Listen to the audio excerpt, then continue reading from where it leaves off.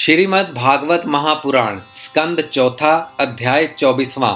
प्रथु की वंश परंपरा और प्रचेताओं को भगवान रुद्र का उपदेश।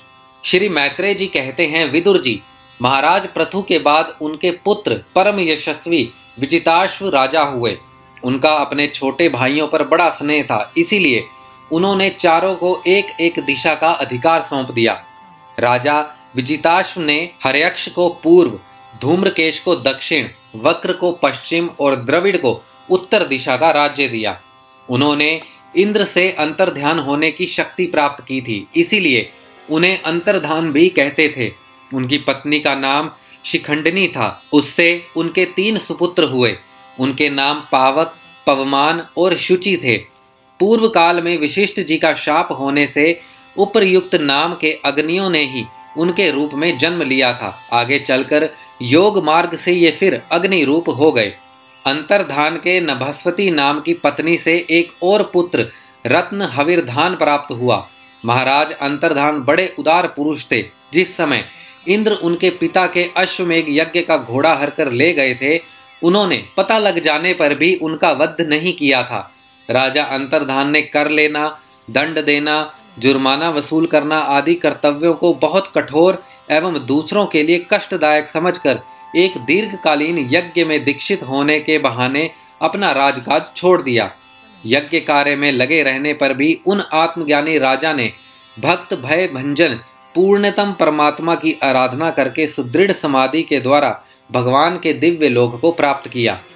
विदुर जी हविरधान की पत्नी हविरधानी ने बहिर्षद गए, शुक्ल, कृष्ण, सत्य और जित व्रत नाम के छह पुत्र पैदा किए। कुरुश्रेष्ठ विदुर जी, इनमें हविरधान के पुत्र महाभाग, बहिर्षद यज्ञ आदि कर्मकांड और योगाभ्यास में कुशल थे। उन्होंने प्रजापति का पद प्राप्त किया। उन्होंने एक स्थान के बाद दूसरे स्थान में लगातार इतने यज्ञ किए कि सारी भूमि पूर्व की ओर अग्रभाग करके फैलाए हुए कुशों से पट गई थी। राजा प्राचीन बहरी ने ब्रह्मा जी के कहने से समुद्र की कन्या शतद्रुति से विवाह किया था। स्वर्ग सुंदरी किशोरी शतद्रुति सुंदर वस्त्र भूषणों से सज धज कर विवाह मंडप में जब भवर देने के लिए घूमने लगी, तब स्वयं अग्निदेव भी मोहित होकर उसे वैसे ही चाहने लगे, जैसे शुकी को चाहा था। नव विवाहिता शतद्रुति ने अपने नुपुरों की झनकार से ही दिशा विदिशाओं के देवता, असुर, गंधर्व, मुनि, सिद्ध, मनुष्य और नाग सभी को वश में कर लिया था। शतद्रुति के गर्भ से प्राचीन भरी के प्रचेता नाम के दस पुत्र हुए। वे सब बड़े ही धर्मज्ञ तथा एक से नाम और आचरण वाले थे। जब पिता ने उन्हें संतान उत्पन्न करने का आदेश दिया, तब उन सबने तपस्या करने के लिए समुद्र में प्रवेश किया। वहाँ दस हज़ार वर्ष तक तपस्या करते हुए उन्होंने तप का फल देने वाले श्री हरि की आराधना की। घर से तपस्या करने के लिए जाते समय मार्ग में श्री महादेव जी ने उन्हें दर्शन देकर कृपा पूर्वक जिस तत्व का उपदेश दिया था, उसी का वे एकाग्रता पूर्वक ध्यान, जप और पूजन करते रहे। विदुर जी ने पूछा, ब्राह्मण, मार्ग में प्रचेताओं का श्री महादेव जी के साथ किस प्रकार समागम हुआ और उन पर प्रसन्न होकर भगवान शंकर ने उन्हें क्या उपदेश किया? वह सार युक्त बात आप कृपा करके मुझसे कहिए। ब्रह्म ऋषि शिवजी के साथ समागम होना तो देहाधारियों के लिए बहुत कठिन है। औरों की तो बात ही क्या है? मुनि जन भी सब प्रकार की आसक्ति छोड़कर उन्हें पाने के लिए उनका निरंतर ध्यान ही किया करते हैं, किंतु सहज में पाते नहीं। यद्यपि भगवान शंकर आत्मा राम है, उन्हें अपने लिए ना कुछ करना है, ना पाना है तो भी इस लोक सृष्टि की रक्षा के लिए वे अपनी घोर रूपा शक्ति के साथ सर्वत्र विचरते रहते हैं। श्री मैत्रेय जी ने कहा, विदुर जी साधु स्वभाव प्रचेता गणपिता की आज्ञा, शिरोधार्य कर तपस्या में चित लगा पश्चिम की ओर चल दिए। चलते चलते उन्होंने समुद्र के समान विशाल एक सरोवर देखा। वह महापुरुषों के चित्त के समान बड़ा ही स्वच्छ था तथा उसमें रहने वाले मत्स्य आदि जल जीव भी प्रसन्न जान पड़ते थे। उसमें नील कमल, लाल कमल, रात में, दिन में और सायकाल में खिलने वाले कमल तथा इंदिवर आदि अन्य कई प्रकार के कमल सुशोभित थे। उसके तटों पर हंस, सारस, चकवा और कारडव आदि जल पक्षी चहक रहे थे। उसके चारों ओर तरह तरह के वृक्ष और लताएँ थी। उन पर मतवाले भौरे गूंज रहे थे। उनकी मधुर ध्वनि से हर्षित हो मानो उन्हें रोमांच हो रहा था। कमल कोश के पराग पुंज, वायु के झंकारों से चारों ओर उड़ रहे थे। मानो वहाँ कोई उत्सव हो रहा है। वहाँ मृदंग प्रणव आदि बाजों के साथ अनेकों दिव्य राग रागनियों के क्रम से गायन की मधुर ध्वनि सुनकर उन राजकुमारों को बड़ा आश्चर्य हुआ। इतने में ही उन्होंने देखा कि देवादिदेव भगवान शंकर अपने अनुचरों के सहित उस सरोवर से बाहर आ रहे हैं। उनका शरीर तपी हुई सुवर्ण राशि के समान कांतिमान है। कंठ नील वर्ण है तथा तीन विशाल नेत्र हैं। वे अपने भक्तों पर अनुग्रह करने के लिए उद्दत हैं। अनेकों गंधर्व उनका सुयश गा रहे हैं। उनका सहसा दर्शन पा प्रचेताओं को बड़ा कौतूहल हुआ और उन्होंने शंकर जी के चरणों में प्रणाम किया। तब शरणागत भयहारी धर्म वत्सल भगवान शंकर ने अपने दर्शन से प्रसन्न हुए। उन धर्मज्ञ और शील संपन्न राजकुमारों से प्रसन्न होकर कहा, श्री महादेव जी बोले, तुम लोग राजा, प्राचीन भरी के पुत्र हो, तुम्हारा कल्याण हो।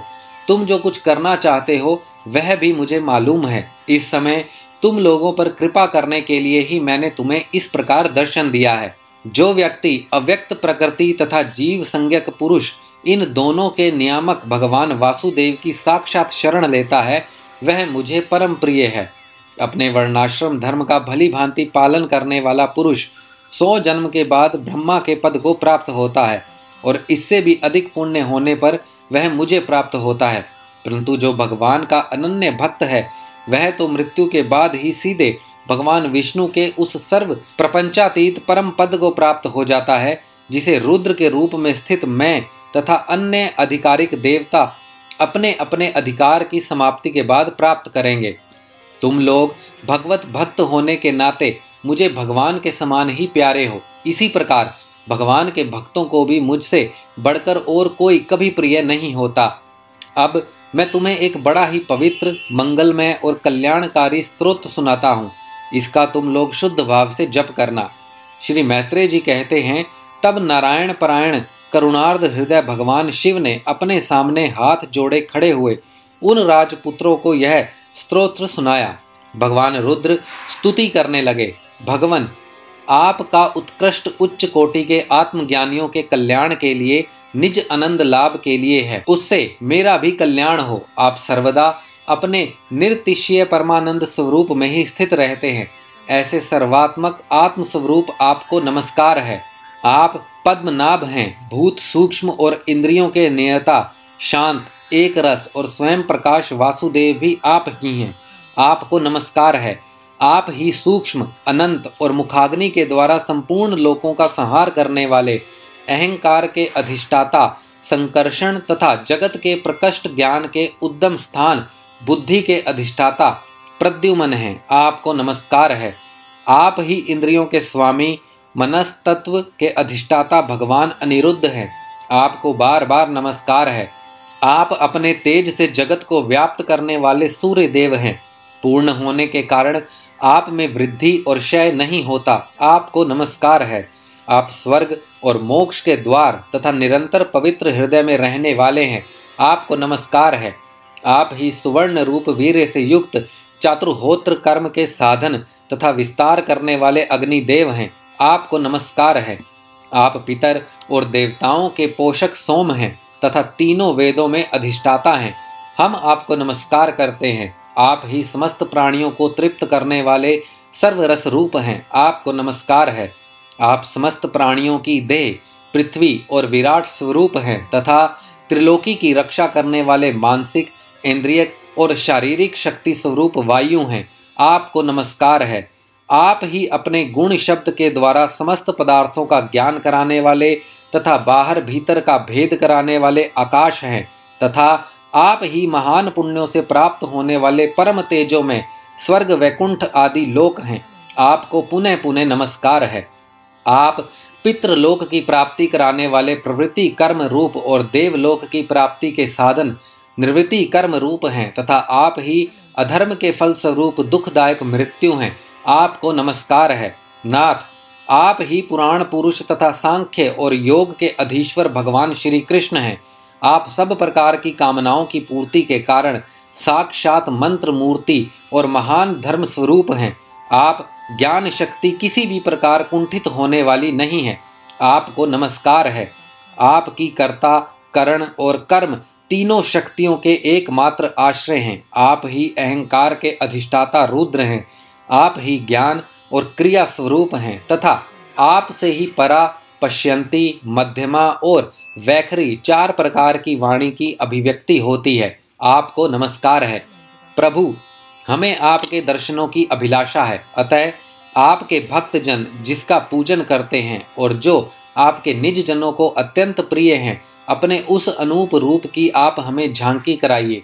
आपका वह रूप अपने गुणों से समस्त इंद्रियों को तृप्त करने वाला है।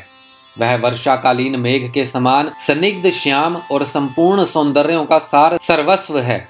सुंदर चार विशाल भुजाएँ, महामनोहर मुखारविंद, कमल दल के समान नेत्र सुंदर बोहें सुघड़ नासिका, मनमोहिनी दंत पंक्ति, अमोल कपोल युक्त मनोहर मुखमंडल और शोभाशाली समान कर्ण युगल हैं। प्रीतिपूर्ण उन्मुक्त हास्य तिरछी चितवन, काली काली घुंघराली अलकें, कमल कुसुम की केसर के समान फहराता हुआ पिताम्बर झिलमिलाते हुए कुंडल, चमचमाते हुए मुकुट, कंकड़, हार, नुपुर और मेखला आदि विचित्र आभूषण तथा शंख, चक्र, गदा पद्म, वनमाला और कौस्तुभ मणि के कारण उसकी अपूर्व शोभा है।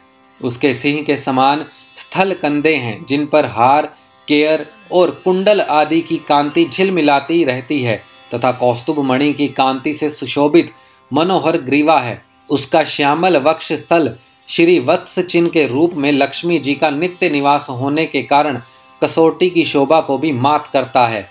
उसका त्रिवली से सुशोभित पीपल के पत्ते के समान सुडोल उदर, श्वास के आने जाने से हिलता हुआ बड़ा ही मनोहर जान पड़ता है।